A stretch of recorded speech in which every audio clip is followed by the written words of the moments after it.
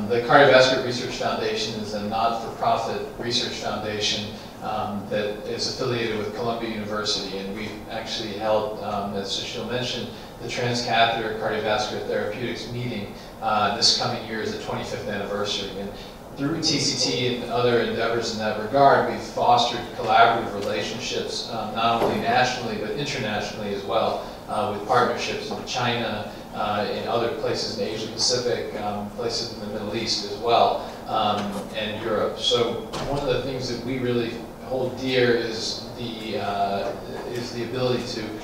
not only bring minimally invasive technologies to patients where they would get them, but to foster collaborative relationships with academically oriented physicians throughout the world. And we view this meeting uh, specifically as one of those uh, relationships, and we're just very thrilled to see it grow over time. Um, we feel that we've involved many people from not only around all around India, as Srinivas mentioned, but also uh, internationally as well. And we really take major efforts to make sure that the content of the meeting is such that it's appealing, but it's also fosters discussion, why we're doing procedures, are they the right procedures, and how we can ultimately help patients. And so again, on behalf of uh, Professor Leon, Professor Stone, and everybody at Cardiovascular Research Foundation, we're just thrilled to be here and to be part of this meeting as well.